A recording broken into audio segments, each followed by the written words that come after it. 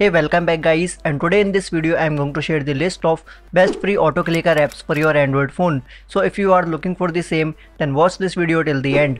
First on our phone is Auto Tapper. A simple to use tool.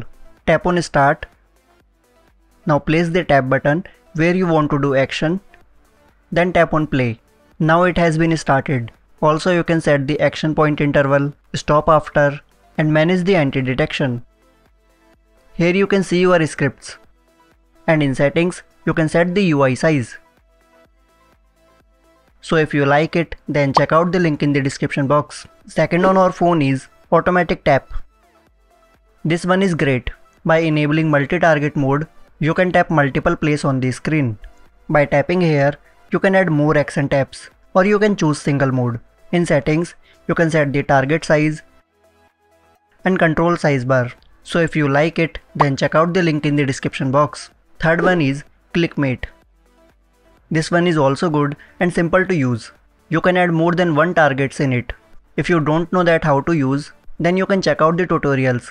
In settings, you can manage the UI, layout size, and much more. So if you like it, then check out the link in the description box. Hey wait, before moving forward, please like this video because your likes motivate me to create more amazing content just like this. Fourth on our bag is Auto Tapper Tap. This is also great. It also offers dual mode like single target mode and multi-target mode. In settings, you can set the milliseconds of the tap action and stop time. Also, you can choose the language. So if you like it, then check out the link in the description box. Last one is Auto Tap Swipe. In this one, you can do swipe action. Here you can set the action interval, swipe duration, and repeat times. Also you can change the language. If you want to learn more, then you can check out the tutorials. So if you like it, then check out the link in the description box.